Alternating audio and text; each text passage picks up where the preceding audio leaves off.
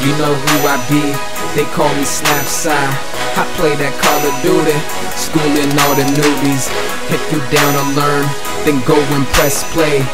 Cause I'm only down aiming for that first place. Yo, yo, what's up, everyone? It's your boy, Mr. Slapside. I know it's been a while since I posted up some gameplay, but I just really want to share this gameplay with you guys because it's really fast-paced, and these set of score streaks really do a lot of work.